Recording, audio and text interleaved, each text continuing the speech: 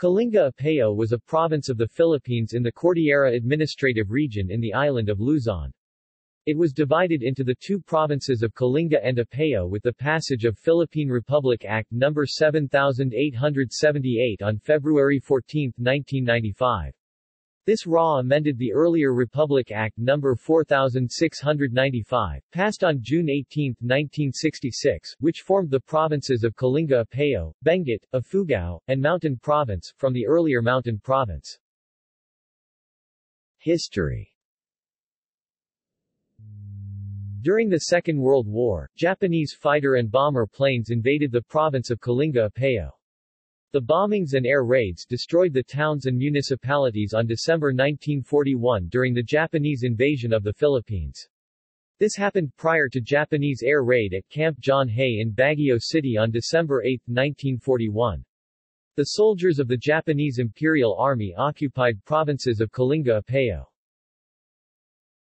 The Igorot and Cordilleran soldiers of the 11th Infantry Division, Philippine Commonwealth Army, USAFFE, endured four months of battle culminating in their surrender to the Japanese on April 9, 1942. Many Igorot and Cordilleran men and women joined the group of local guerrilla resistance fighters in Kalinga Apayao which fought against the Japanese imperial forces in northern Luzon. Meanwhile, many Igorot and Cordilleran men joined the Philippine Commonwealth Army under the U.S. military command.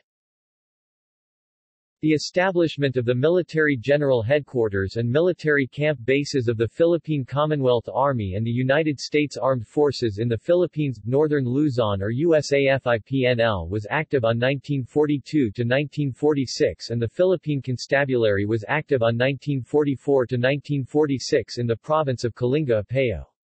The Philippine Commonwealth Army and Philippine Constabulary deployed Special Operations Units in Kalinga Apayao to aid in the campaign against the Japanese Imperial Army.